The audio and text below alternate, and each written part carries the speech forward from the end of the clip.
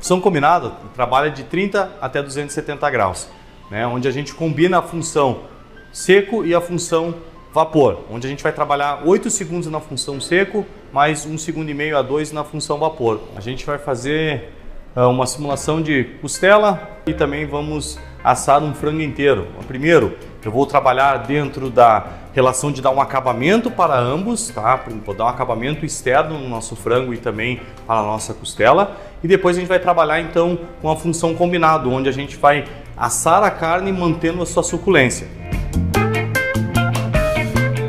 Iniciando pela função seco, vou trabalhar na faixa de mais ou menos 10 minutinhos aqui, uma temperatura de mais ou menos 210 graus.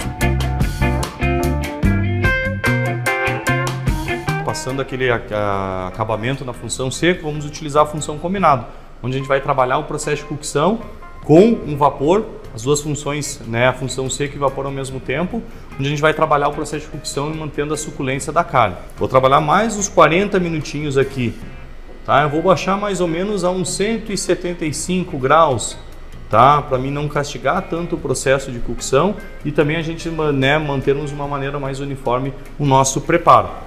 Peguemos aqui ela com oito ripas, onde a parte mais inicial dela é um pouquinho mais fina e a parte final dela aqui um pouco mais grossa. O que, que a gente tem que observar nesse sentido? Depende do preparo que eu quero fazer. Vamos lá. Se eu tenho uma, quero fazer uma costela assada como a gente fez aqui, eu tenho que cuidar em relação de pontos, porque quanto mais alta a minha peça, eu tenho que cuidar quanto maior o tempo, né, vai ser menor a minha temperatura, maior o meu tempo de cocção. Vou mostrar para vocês então aqui o ponto da costela, ó.